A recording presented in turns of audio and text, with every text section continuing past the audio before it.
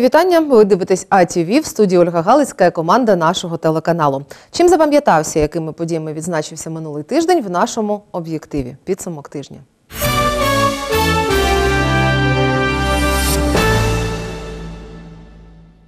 Ось ніби і все. Відгуляли. Новий рік, Різдво, старий новий рік і навіть водохреще. Декада зимових свят тепер вже історія. На щастя, цьогоріч під час святкування обійшлося без жертв. От щоправда, природня зима настала трохи пізніше. Проте в Сумах це не завадило запланованим розвагам. В центрі міста відкрили ковзанку, провели чемпіонат з хокею. А цього тижня навіть поліпили сніговиків. І вже з 15-го остаточно дорослі повернулися до роботи, а школярі до навчання. Правда, говорять освітяни, деякі прагнули знань на тиждень раніше і 9 січня прийшли до школи. Та дякувати Богові, свята закінчилися, і життя повернулося у звичне русло. Мінімальна заробітна плата зросла. А от чи стало менше отримувачів субсидій? Скільки на Сумщині підприємств боржників і чи готові міста і райони до ліквідації надзвичайних ситуацій та чого навчив посадовців буревій влітку минулого року? Такими були основні питання обласної апаратної наради. У жовтні минулого року очільник області дав доручення керівникам міста районів передбачити матеріальний резерв на випадок надзвичайних ситуацій. Зі слів директора департаменту цивільного захисту, найнижчі показники мають суми Серединобудський, Шосткинський та Недригайлівський райони. Хочу зазначити, Олександр що у нас на даний час відсутній взагалі матеріальний резерв в об'єднаних територіальних громадах. Вони тільки зараз щойно створені. У них ще не у всіх визначені фахівці, які відповідають за цей напрямок роботи. І тобто е, питання, яке зараз е, є нагальне таке для е, тим паче нашої території, для цього часу, це, створення матеріальних резервів. І це показав той буревій, коли пройшло у нас 1 і 15 липня цього року. На скайп-зв'язок виходить голова Серединобудської райдержадміністрації. За його словами, цьогорічний матеріальний резерв складає 212 тисяч гривень. Про ситуацію в обласному центрі доповідає заступник мера. Значить, виділено на 18 рік у нас 453 тисячі 400 гривень. І також новий графік накопичення матеріального резерву е, на 18 рік буде в лютому місяці затверджений е, виконавчим комітетом. У Шосткинському районі матеріальний резерв порівняно з 2017 роком збільшили в 5 разів. Він налічує 900 тисяч гривень. Окрім того, внесли зміни до програми цивільного захисту і почали акумулювати запаси матеріалів. Закупили шифер, є в наявності доска, е, брус. До речі, закуплена система повіщення населення за 40 тисяч і збільшили обсяг резервного фонду в порівнянні із 17 роком в 5 разів. Порівнюючи суми і Шосткинський район, губернатор називає матеріальний резерв обласного центру недостатнім і дає нове доручення керівникам міст, районів та об'єднаних громад. До 1 травня цього року забезпечити поповнення наявного матеріального резерву у себе на місцях. Олександр Миколаївича мило, щоб попрошу особисто мені доповісти з цього приводу до 15 травня цього року. Заборгованість по заробітній платі на 34 підприємствах, організаціях і установах області у 2018 році сягає 118 мільйонів гривень, а це на 15,6 мільйона гривень більше ніж торік. Натомість зменшилась кількість підприємств-боржників. Майже 95% від загальної суми боргу в області. Це фактично у нас е, тягне два е, два підприємства. Це е, ВАТ СМПО і е, е, ВАТ Selmi. Е, Якщо ВАТ е, СНПО це 77 мільйонів, то ВАТ Selmi 25,5 мільйонів гривень. Далі у нас йдуть е, Конотопський механічний завод Харківського державного авіаційного виробничого підприємства 5,3 мільйона гривень, ТОВ «Машсервіс» 1,3 мільйона гривень і КП е, Шоскінський казенний завод «Зірка» 2,1 мільйон гривень. Сумське НВО. Я нещодавно зустрічався з керівництвом заводу, не отримала внутрішніх замовлень.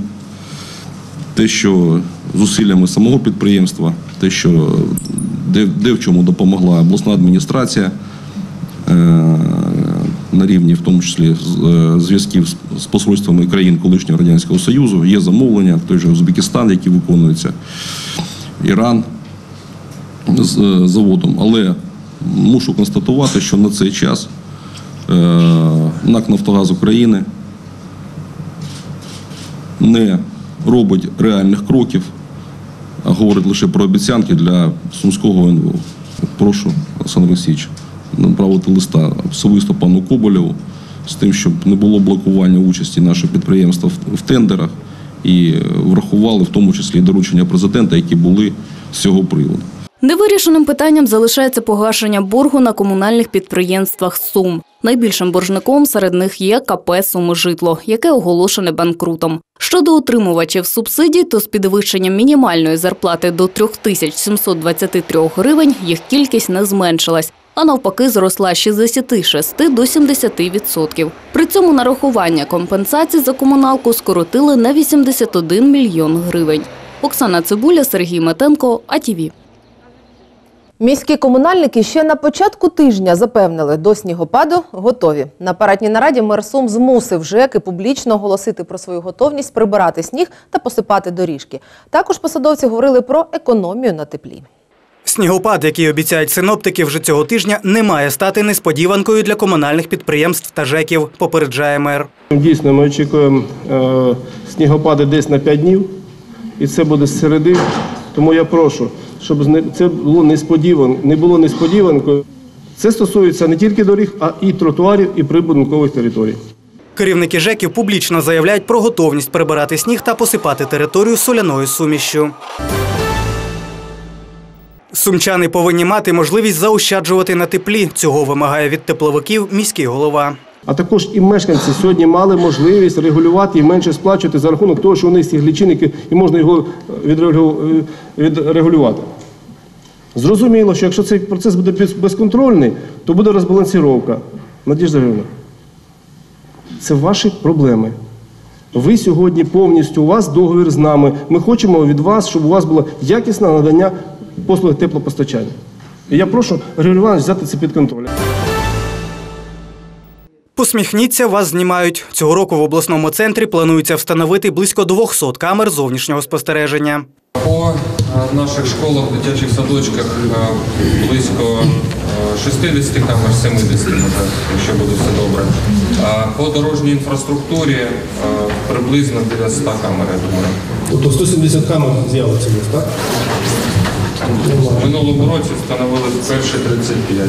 Зараз 35 Тобто до 200 камер у нас в місті. Треба встановлювати камери, іншого шляху немає, як тотальний контроль за повним пересуванням по нашому місту. Хай е, ображаються, не ображаються люди, що будемо заглядати навіть ну, в усі, в, в усі місця. Сніг таки випав за одну ніч до 50 сантиметрів. Комунальники, як обіцяли, оперативно розчистили автошляхи. Проте містяни, скільки не роби хорошого, все одно все буде не так. Впродовж дня, 18 січня, соціальні мережі майоріли скаргами і невдоволеннями. Тротуари не прибрані, відсутній доступ до зупинок, а техніка шлях Рембуду позавалювала заїзди до прибудинкових територій. Це я цитую повідомлення від сумчан. Як на мене, і до речі, чи й не вперше в інтернеті було багато фото та позитивних відгуків. На кшталт п'ята ранку, а дороги вже почищені. Є фотофакти чистки тротуарів. Отже, все відносно. А невдоволені відгуки, то як в народному прислів'ї, скільки вовка не годуй, він все одно в ліс дивиться.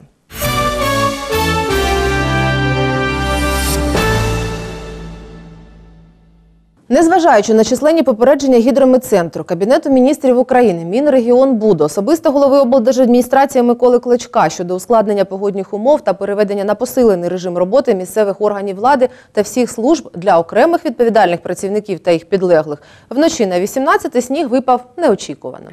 Тож облдержадміністрація зранку розпочала моніторинг роботи органів місцевого самоврядування, дорожніх та інших служб щодо ліквідації наслідків снігопаду або желедиці на території Сумської області та просить допомоги всіх жителів Сумщини. Їх запросили тих, кому набридло терпіти, висловити своє бачення роботи комунальних служб на електронну адресу управління житлово-комунального господарства. За результатами моніторингу буде створений рейтинг керівників райдержадміністрацій, мерів, голів ОТГ та вжиті відповідні заходи.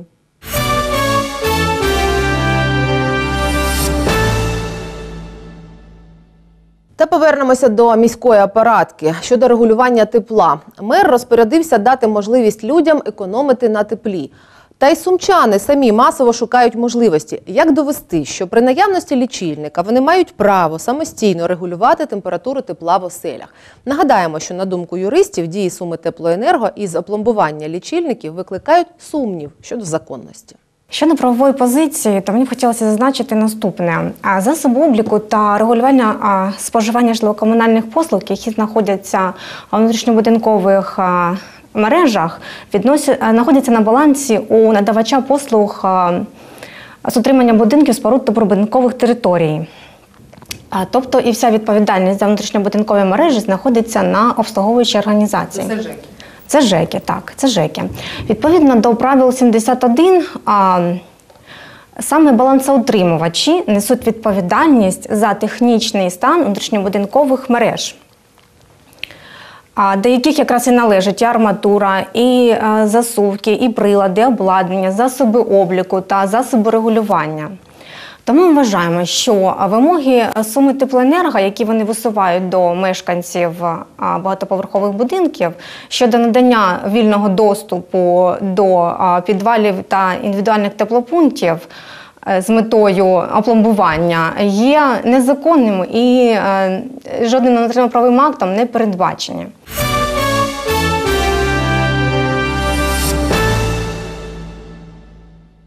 І повернемося до подій тижня. 16 січня відбулося позачергове засідання виконкому, який, незважаючи на обурення і супротив сумчан, ухвалив рішення підвищити тарифи на послуги з перевезення пасажирів у тролейбусах та автобусах, тобто у комунальному транспорті. А ознаменувалося воно спробою сміттєвої ілюстрації та штовханиною з поліцією. Бурхливе обговорення викликає питання підвищення вартості проїзду в комунальному транспорті. Знизити напругу не допомагає навіть розширення пільг для учнів та студентів, а також часткова компенсація витрат КП «Електроавтотранс» з міського бюджету. Про яку зміну тарифу може йти мова, йти мова, якщо ви не виконуєте вимоги закону? Спочатку виконуєте вимоги закону, а потім ви Та ми ж не маршрутки свій розглядаємо. транспорт, у вас на тролейбусах колеса відпадають, а вам будеш без людей денег діреть. Транспортники наголошують, підняття ціни вимушене. Уже з січня місяця ріст, зріст електроенергії відбувся на 9%. Але в тарифі у нас е, він не відображений. Е, Заробітна плата зростає. Диспаливо, яке використовується нашими автобусами, воно закладене на рівні 20 гривень. На сьогоднішній день воно складає 27 гривень за 1 літр. Активісти ж стверджують, розрахунки проведені непрозоро, адже досі не досліджено пасажиропотік. Обоснуйте, почему вы западняете тариф? Почему? Потому що обґрунтований тариф є економічний. Підприємство розраховувало у відповідності до методики. Обурені сумчани роблять владі останнє попередження. Перед членами виконкому з'являються сміттєві корзини. В следующий раз эти урны будут больше. Накинуть. Вышли с кабинета.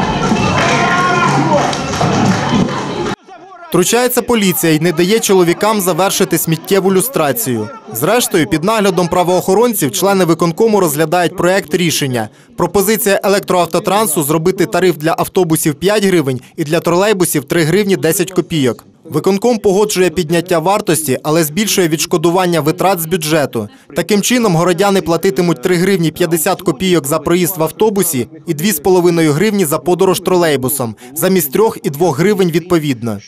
Раніше в комунальному транспорті компенсація була 40, 40 копійок, зараз буде 60 копійок. І тариф складатиметься 2,50. В автобусах е, тут е, набагато, майже вдвічі більша компенсація, це гривня 50, і е, тариф е, е, члени виконкома підтримали тільки 3,50. На мою думку, це правильна ситуація. Я вийшов з такою пропозицією і сказав, що ми по-іншому не можемо з вами. Але у нас цей тариф був прийнятий тільки, том, тільки при відповідних умовах. І з 1 лютого 2018 року тепер всі учні з 1 по 11 клас мають можливість їздити в нашому комунальному транспорті з пільгою 50%. На таких саме умовах їздитимуть студенти, а ось пенсіонери у комунальному транспорті не платитимуть взагалі. Усім іншим мер радить придбати місячний проїзний за 75 гривень. За рахунок е, збереження е, пільгових проїзних квитків місячних ми утримуємо найдешевший тариф е, по всій Україні. Микола Сурженко, Валерій Коваленко, АТВ. Як кажуть, льод тронулся, господа присяжні. Зверніть увагу, першими підняли вартість проїзду до 5 гривень не приватним перевізникам, а комунальному підприємству. Тож не лишається сумніву, що вартість проїзду в сумських маршрутках незабаром також дорівнюватиме п'ятірці. Тим більше відповідне рішення виконкому вже давно чекає свого розгляду, яке до цього часу відкладали. І до речі, в Полтаві, Чернігові та інших містах такий тариф вже діє.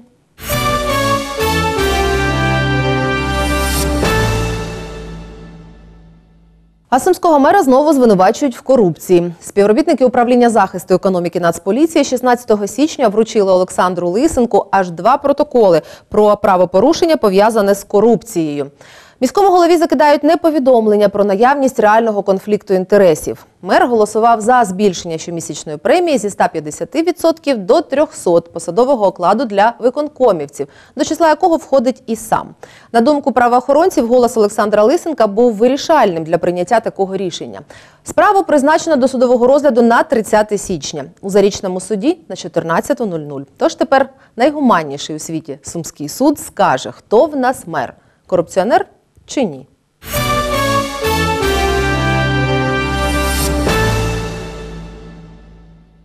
Навчати і вчитися граючи. Освітянам Сумщини презентували інтерактивний кабінет. Його відкрили на базі Інституту післядипломної педагогічної освіти. Смарт-клас стане творчим майданчиком, місцем тренінгів та навчання для вчителів початкових класів, які вже з 1 вересня 2018 року почнуть впроваджувати концепцію нової української школи.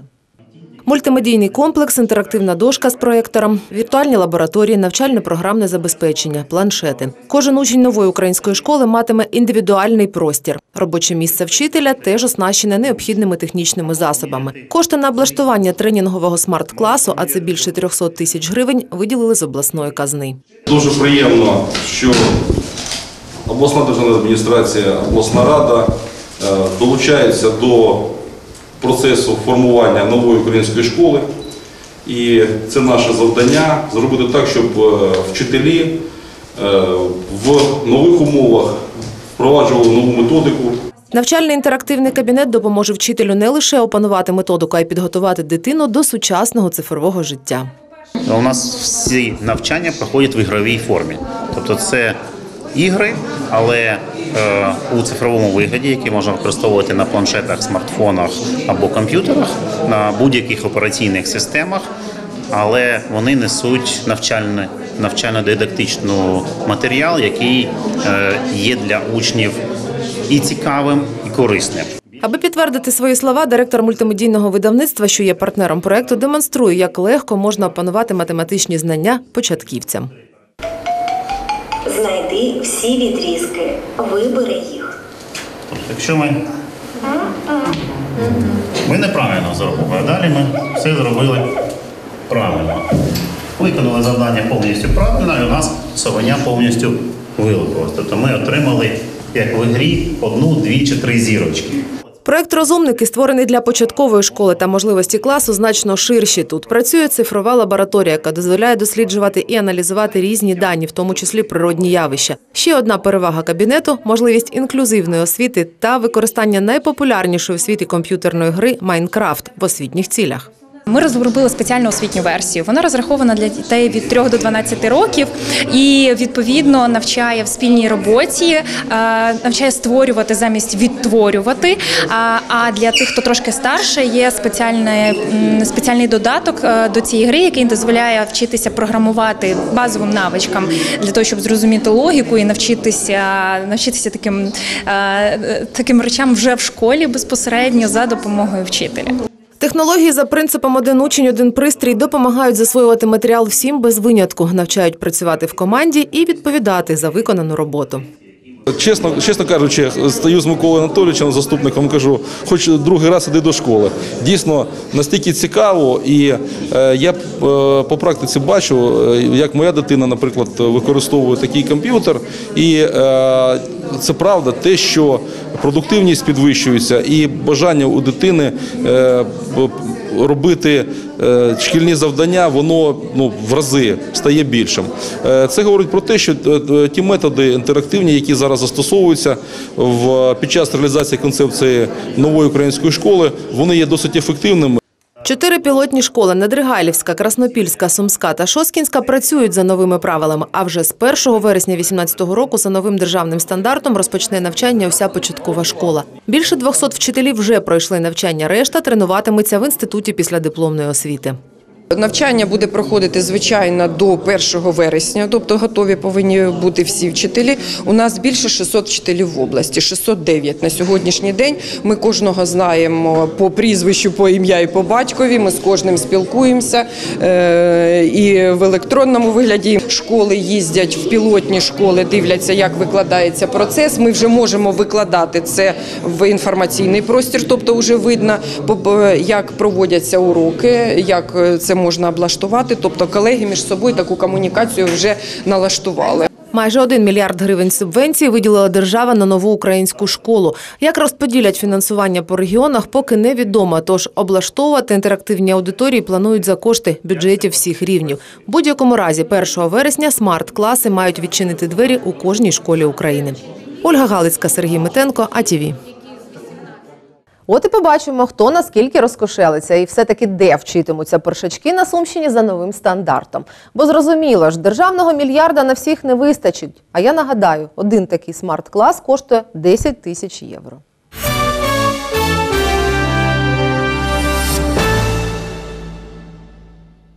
Прем'єра на малій сцені театру Щепкіна відбулася 20 січня. Вистава Відключені. Постановка головного режисера Антона Меженіна за мотивами п'єси Моріса Панича Спостерігач. Через формат віч навіч, що передбачає мала сцена, щепкінці спробували включити глядача в проблематику твору, який, до речі, рекомендований для перегляду лише тим, кому за 16.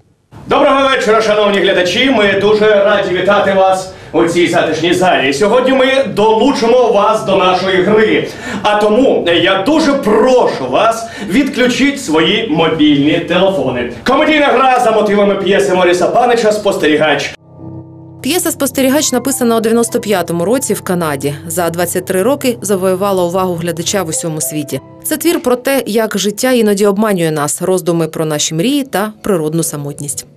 Мы считаем, что э, актуально это будет всегда. Почему? Потому что э, в пьесе говорится о том, э, нужны ли мы друг другу, о, э, о том, э, человек рождается один, умирает один, о э, состоянии одиночества. Наш э, месседж к зрителю, насколько все мы включены в нашу жизнь, сегодняшнюю жизнь. Вот говоря об актуальности, когда все мы ежедневно э, живем, не просто проводим э, 15 минут, а живем, можно сказать, в гаджетах, в интернете, в сети. Мы живем где-то в виртуальном мире, и мы э, не замечаем того, что во- вокруг нас. Сюжет доволі простий. Племінник приїжджає доглядати помираючу тітку заради квартири. У процесі вистави з'ясовується, що він не просто банківський клерк, а дуже складна особистість. Вопрос, каким зритель его будет воспринимать, а не то, каким я его буду показывать. Сложний, інтересний персонаж. Ну, у нас есть хорошая возможность проверить, насколько это будет интересно и насколько эта тема зайдет здесь, в этом городе, и вообще насколько люди готовы говорить на, на эти темы. Ідея постановки всесвітньо відомої п'єси належить двом молодим акторам у форматі жартівливої гри віч навіч, який дозволяє мала сцена. Щепкінці намагаються включити пасивного глядача у сучасну драматургію. Мы пытаемся внедрять какие-то элементы эм, современного искусства, театрального конкретно, для того, чтобы это было интересно не только зрителям, не только эм, людям, которые пришли посмотреть на спектакль, но и нам, конечно, самим в этом работать. И безумно много текста, очень много э, мизансцен, много реквизита мелкого, и это... Но это очень сложно. Комедійна гра на одну дію лише одна година, що спливає дуже швидко завдяки сценічному монтажу, метафоричному реквізиту та живій атмосфері. Про що вистава? Ну, ви знаєте, про життя. Про життя. Про життя цікаве, про життя неочікуване, як ми інколи помиляємось, інколи жалкуємо, що помиляємось, інколи від цього, можливо, треба радіти. Головне, щоб ми були не відключені від цього життя. Е, Ми віримо в те, що сцена мала, але успіх має бути великий на, на цій сцені. До Дня театру, який відзначають 27 березня, щепкінці презентують ще одну виставу на малій сцені за п'єсою Славомира Мрожика Танго. Поки ж запрошують сумчан включитися у прем'єру. Ольга Галицька, Валерій Коваленко, АТВ. Тож свята скінчилися, і ми повертаємося до театру життя. І, мабуть, відомий вислів Вісьмір театр» Шекспір написав лише тому, що він просто не знав, що таке цирк. На сьогодні все. Побачимося наступних вихідних.